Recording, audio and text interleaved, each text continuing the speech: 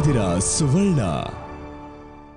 ಬದುಕಿನ ಭಾವಲಹರಿ ಅಮೃತವರ್ಷಿಣಿ ಧರಣಿಗೆ ಜೀವಧಾರೆ ಅಮೃತವರ್ಷಿಣಿ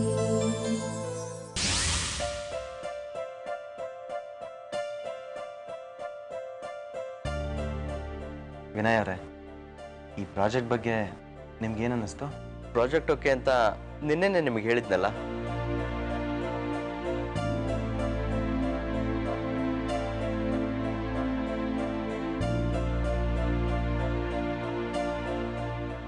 ಹಾಗಾದ್ರೆ ನಾವು ಮುಂದುವರಿಸ್ಬೋದು. ನೀವು ಇದರಲ್ಲಿ ಇನ್ವೆಸ್ಟ್ ಮಾಡ್ತೀರಾ ಅಂತ ಆಯ್ತು. I am very sorry sir ನಾನು ಈ ಪ್ರಾಜೆಕ್ಟಲ್ಲಿ invest ಮಾಡೋಕ್ಕಾಗ್ತಿಲ್ಲ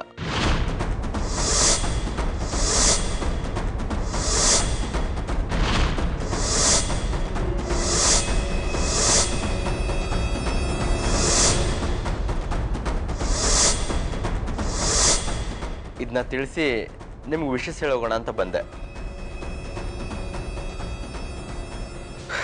Okay mister Sandeep I wish you all the best for your venture ಅಲ್ಲ ವಿನಯ್ ಅವರೇ ಪ್ರಾಜೆಕ್ಟ್ ಇಷ್ಟ ಆಗಿದೆ ಅಂದ್ರೆ ಇನ್ವೆಸ್ಟ್ ಮಾಡೋಕ್ಕಾಗಲ್ಲ ಅಂತಿದ್ದೀರಾ? ಏನಾಯ್ತು ಹೇಳಿ? ಏನಿಲ್ಲ ಬಿಡಿ.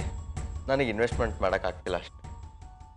ನೀವು ಕೋಟ್ಯಾಧೀಶ್ವರ ಫ್ಯಾಮಿಲಿಯಿಂದ ಬಂದಿರೋರು. ನೀವೇ ಹೀಗೆ ಹೇಳಿದ್ರೆ ಹೇಗೆ?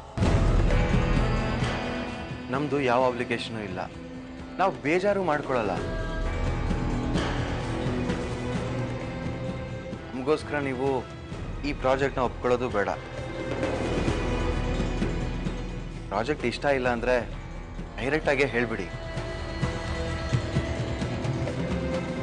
ನೋನು ಹಾಗೇನಿಲ್ಲ ನನಗೆ ಪ್ರಾಜೆಕ್ಟ್ ತುಂಬ ಇಷ್ಟ ಆಗಿದೆ.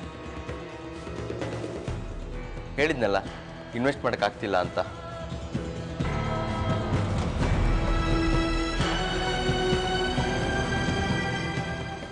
ಅವರೇ ನಿಮ್ಮ ಪ್ರಾಬ್ಲಮ್ ಏನು ಹೇಳಿ?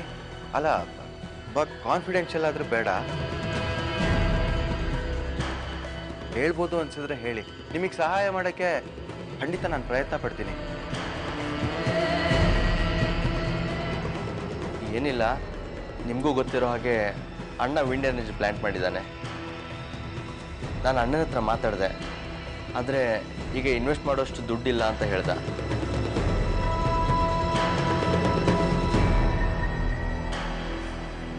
ಅದು ನಿಜನೇ.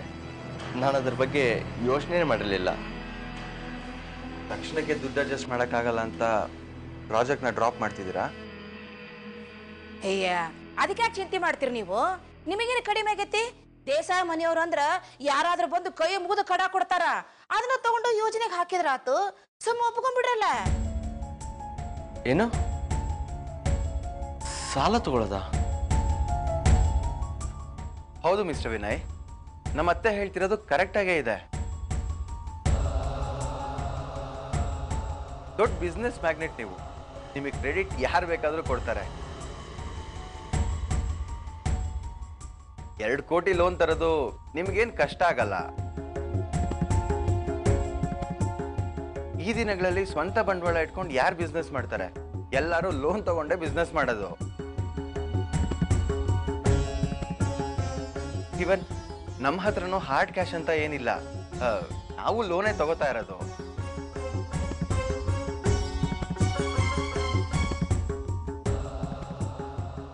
ನೀವು ಒಪ್ಪೋದಾದ್ರೆ ನಿಮ್ಮ ಶೇರ್ ಆಫ್ ಅಮೌಂಟ್ಗೆ ನಾನು ಅರೇಂಜ್ ಮಾಡಿಸ್ತೀನಿ. ನಾನು ನೀವೇ ಅಷ್ಟು ದೊಡ್ಡ ರಿಸ್ಕ್ ತಗೋತೀರಾ? ಇದರಲ್ಲಿ ನಮಗೇನು ತ್ರಾಸಿಲ್ಲ ತಗೋರಿ. ನೀವು ಪೇಪರ್ಸಿಗೆ ಸೈನ್ ಮಾಡಿದ್ರೆ ಸಾಕು. ಸಾಲ ಕೊಡ್ತಾರೆ. ನನಗೆ ಒನ್ ಡೇ ಟೈಮ್ ಕೊಡಿ.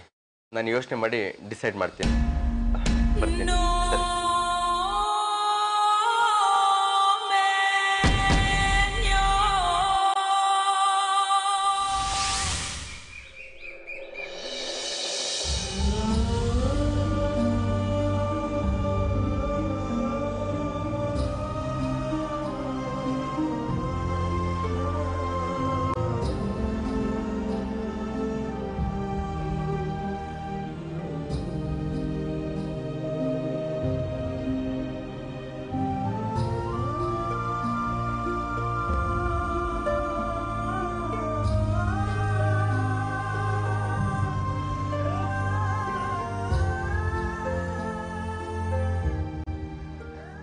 ಮಕ್ಕಳಿಗೆ ಒಂದೊಳ್ಳೆ ಪರಿಸರ ವಾತಾವರಣ ಭದ್ರತೆ ಒದಗಿಸ್ಕೊಡ್ತೀವಿ ಅನ್ನೋ ಖಾತ್ರಿ ಇದ್ರೆ ಮಾತ್ರ ಆ ಮಕ್ಕಳಿಗೆ ಜನ್ಮ ಕೊಡಬೇಕು.